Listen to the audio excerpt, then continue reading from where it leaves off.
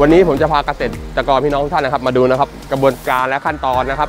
การเคลื่อนย้ายไม่ว่าจะเป็นบ่อชำหรือว่าการพาเชียนกุ้งนะครับลดการบอบช้ำของกุ้งนะครับ ผมลดความเครียดระหว่างการย้ายนะครับ ตัวจะไม่ไม่ซี่จะไม่มีการกระทบกระเทือน เกี่ยวกับเรื่องของอจังหวะที่เราตัก หรือว่าเราย้ายนะครับในในการย้ายแบบเก่าๆโดยเราใช้สวิงหรือใช้คนตักนะครับ วันนี้เราจะพามาดูเครื่องกันเลยครับผม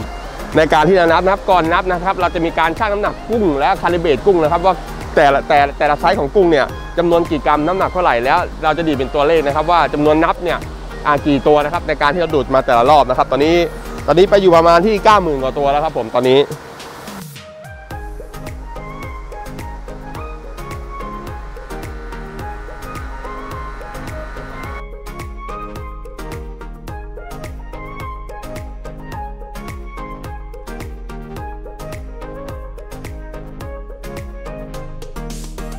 ครับผมสำหรับเกษตรกรนะครับที่ที่ต้องการ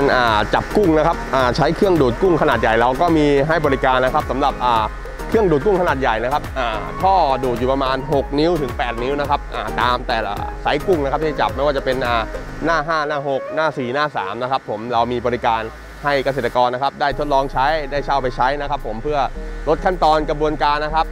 ความบอบช้ำของกุ้งนะครับแล้วก็กุ้งยังสดในการที่เราจะจับหรือว่าจะเป็นกุ้งออกนะครับผมเราสามารถ ใช้เครื่องตัวนี้ได้เลยครับผมเป็นเครื่องที่ค่อนข้างจะทันสมัยเลย และ